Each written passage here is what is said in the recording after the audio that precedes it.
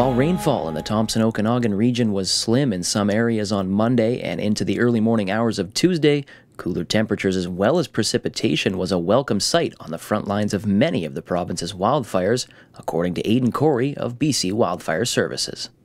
Yeah, any uh, cool temperatures and precipitation are a welcome repeat, reprieve for our crews, um, even if it is temporary. We are still expecting, you know, seasonably warm weather uh, coming up, um, but it does allow the, the fire behavior to decrease uh, on most of our larger fires. So over the weekend, we were seeing quite extreme fire behavior, and through last night, it was uh, decreased quite a bit. So even though the fires are still growing, um, the fire behavior gives safer work conditions for our crews, and they can do more direct attack methods. Taking a look at the upcoming forecast, Jeff Colson of Environment Canada says we can expect some seasonal to below seasonal conditions as we head into September no real indication of return to uh, the, the heat that we've uh, seen earlier this summer. Actually, temperatures forecast for much of the Okanagan to remain around seasonal values uh, through the rest of this week, and actually uh, dropping down to a little bit cooler than seasonal values as we head into Friday and the weekend.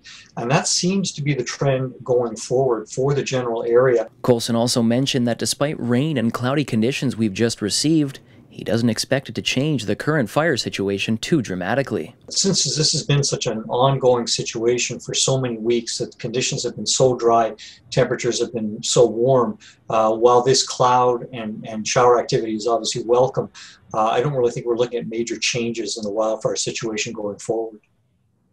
70 kilometer an hour wind gusts as well as warm temperatures were certainly to blame for the increased wildfire activity on Sunday.